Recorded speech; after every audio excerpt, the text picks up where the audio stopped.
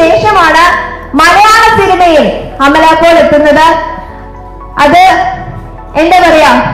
ഇത്രയും നല്ലൊരു സിനിമയിൽ കൂടി തന്നെ മലയാള സിനിമയിലേക്ക് ഒരു നല്ല തിരിച്ചുവരവ് തന്നെ ആയിരിക്കും എന്ന് നമുക്ക് പ്രതീക്ഷിക്കാം അല്ലേ? ഞാൻ സിനിമയുടെ ഒരു സാഹചര്യം വെച്ചിട്ട് പറയുകയാണ് ചില സിനിമകളിൽ നിന്ന് നമ്മൾ നേരത്തെ പറഞ്ഞ പോലെ ഒരു ആക്ടർ ഒരു സിനിമ കഴിയുന്നു അടുത്ത ഡേറ്റിൽ അടുത്ത പടത്തിലോട്ട് കയറുന്നു. ചിലവർക്ക് അത് പറ്റും. ഈസി ആയിട്ട് ചെയ്തിട്ടുള്ള ബ്ലോക്ക് ബസ്റ്റേഴ്സ് ആയിട്ടുള്ളതാണ് ഇവിടുത്തെ സിനിമകൾ. ഞാൻ ആ പ്രോസസ്സ് തെറ്റാണെന്നല്ല ഞാൻ പറയുന്നത്. എന്റെ പരിമിതിയായിരുന്നു എനിക്കത് ആസ് എ ഡയറക്ടർ എനിക്ക് അവർ രണ്ടുപേരും ഒന്നിക്കണം. അതിനു മുമ്പ് വളരെ ഇമ്പോർട്ടന്റ് ആയിട്ടുള്ള രണ്ട് ആക്ടേഴ്സ് ഈ സിനിമയുടെ രണ്ട് ക്യാരക്ടേഴ്സ് ചെയ്യുന്ന ആക്ടേഴ്സിനെ ഒന്നിച്ച് അവരിലേക്ക് ഒരു ട്രാവൽ എനിക്ക് വേണമായിരുന്നു എന്നുള്ള എന്റെ ആവശ്യം അവരുടെ ആവശ്യമില്ല.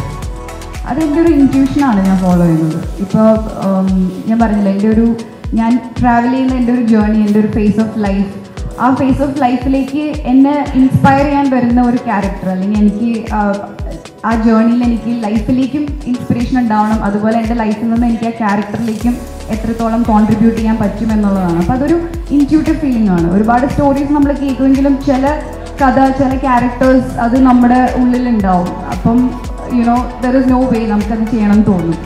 അപ്പം ട്വന്റി ട്വന്റി തൊട്ട് ഞാൻ സ്ക്രിപ്റ്റ്സ് ഒക്കെ കേൾക്കുന്നുണ്ടെങ്കിലും എനിക്ക് അങ്ങനെ ഒന്നും ഒരു ഒരു സ്ട്രോങ് ഒരു ഫീൽ കിട്ടിയില്ല തിരിച്ച് ലൈക്ക് ഇനി മൂവി ചെയ്യാനായിട്ടുള്ള.